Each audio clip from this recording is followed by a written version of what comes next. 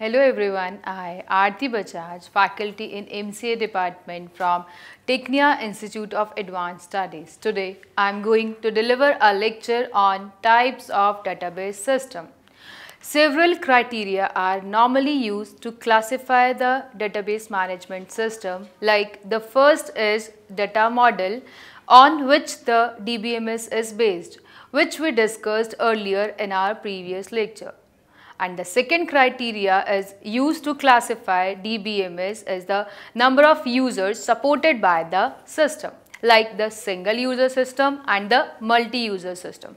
The single user system which supports only one user at a time and are mostly used with the personal computers and the multi-user systems which include the majority of DBMS support the multiple users concurrently. On based of these different criteria, the database is divided in the various types. There are four structural types of database management system. The first one is hierarchical database and the second is network database. Third is relational database and the fourth one is object oriented database. Let's discuss one by one. The first one is hierarchical database. Hierarchical database, in the hierarchical database model, we have to learn about the database. It is very fast and the simple database. In the hierarchical database, the records contain information about three groups of like parent-child relationship just like as a tree structure. The structure implies that a record can have also the repeating information. In this structure, the hierarchical structure, the data follow in a series of records. It is a set of field values attached to it. It collects all the records together as a record type. These record types are the equivalent of the tables in a relational model and with the individual records being the equivalent of the rows. To create the links between these record types, the hierarchical model use different types of relationships. We have various advantages of the hierarchical database that it can be accessed and updated rapidly because in this model structure it is like a tree and the relationship between the records are defined in advance. This feature is two-edged. Uh, as well as we have the disadvantage of the hierarchical database that this type of database structure is that each child in the tree may have only one parent and the relationship or the linkage between the children are not permitted even if they make sense from a logical standpoint.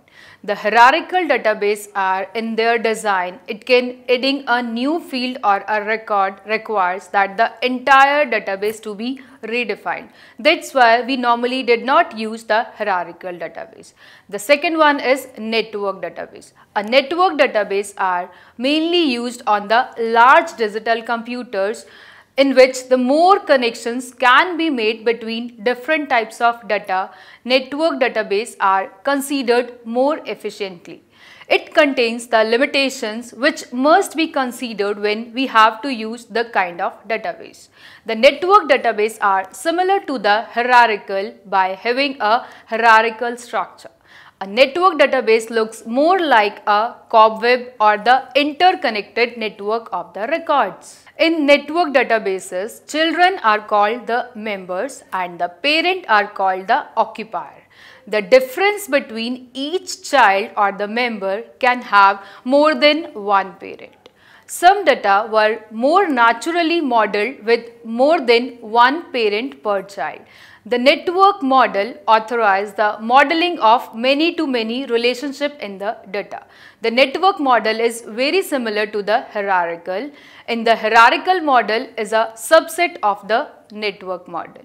However, instead of using a single parent tree hierarchy, the network model uses set theory to provide a tree-like hierarchy with the exception that child tables were allowed to have more than one parent and it supports the many-to-many -many relationships. Next database is relational database. In relational database, the relationship between data files is relational. The hierarchical and the network database require the user to pass a hierarchy in order to access needed the data. These database connect the data to the different files by using common data numbers or the key fields. Data in the relational database is stored in a different access control tables, each having a key field that mainly identifies each row. The relational database are more reliable either from the hierarchical or the network database structures.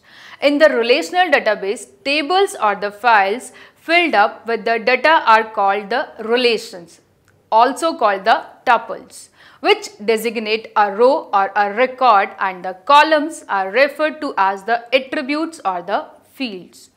The relational database work on each table has a key field that uniquely indicates each row and that these key fields can be used to connect one table of data to another table. The relational database has two major reasons in uses. The first one is relational database can be used with little or no training because in this we use the tables. And the second is database entries can be modified without specify the entire body of a particular table. So, the properties of relational database table are in the relational database we have to follow some properties like its values are atomic. In each row is alone. The column values are of the same thing.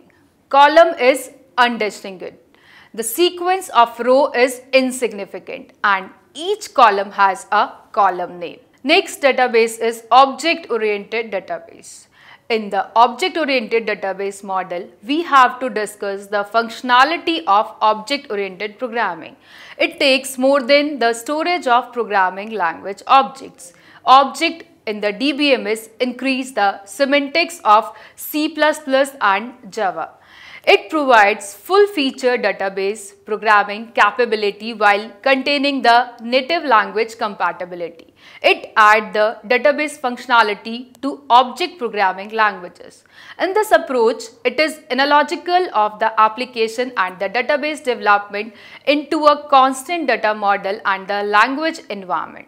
The applications require less code, use more natural data modeling and the code bases are easier to maintain. The object developers can write the complete database application with a decent amount of additional effort. We can also say an object correspond to an entity in the ER model. The object-oriented paradigm is based on the encapsulating data and the record related to an object into a single unit. In the object-oriented database, we have various terms like abstraction. It is a process of identifying the essential aspects of an entity and ignoring the unimportant properties. The second is encapsulation. An object contains both the data structure and the set of operation that can be used to manipulate it. As well as we have information hiding. It is used to separate the external aspects of an object from its internal detail which are hidden from the outside world. The internal detail of an object can be changed without affecting the application that use it. The object-oriented database derivation is the integrity of object-oriented programming language the system and the consistent system. The power of the object-oriented database comes from the cyclic treatment of both the consistent data as found in the database and the transient data as found in the executing program. The object-oriented database use small, recyclable separated of software called objects. The objects themselves are stored in the object-oriented database. Each object contains two elements like the piece of data and instructions. Instructions are the software programs which called the methods. So, we have various disadvantages of the object-oriented database like the object-oriented database are more expensive to develop. The most organizations are unwilling to abandon and convert from the database. That's all about the types of database systems. I hope you all understand that topic and if you want more information related to that, please subscribe Tecnia TV. Thank you.